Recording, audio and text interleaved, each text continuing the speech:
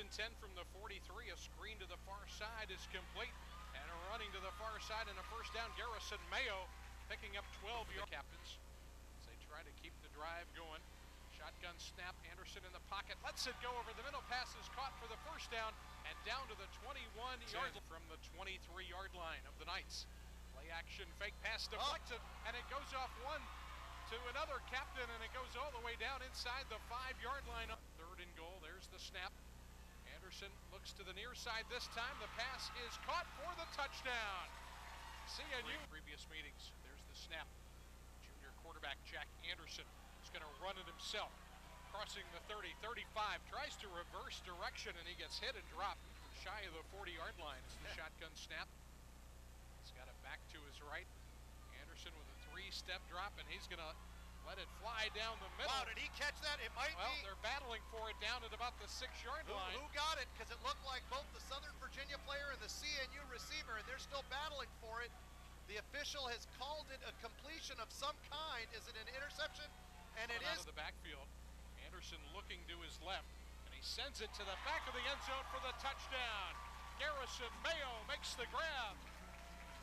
Hold the Mayo. The captains lead 12 0 And Anderson really fired that one in nicely. And now Southern Virginia in CNU territory at the 38. Shotgun snap. Briggs looking to throw. Pump fake.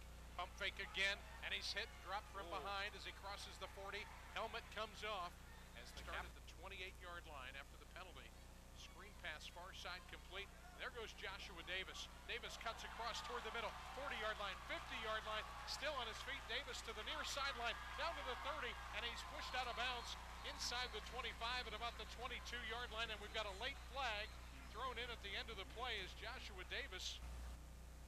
Motion to the far side. There's the snap. Rolling to oh, his right. Wide open. In the end zone. The pass is caught for the touchdown. Michael Vander Tulip in his first game the freshman tight end makes the grab, and the captains lead 20 to nothing. 20 yard line awaiting the snap. On fourth and four, he dropped the ball. The oh, ball is blocked. blocked. It's a loose ball down at the 10 yard line, and the captains are going to fall on it. And the captains are going to have the ball deep in seven of the Knights. They go back to the ground and an end around. Oh, he's wide open. Pass play to the near side. There's Blaze. Blaze down to the 10, 5, dives, and he is into the end zone.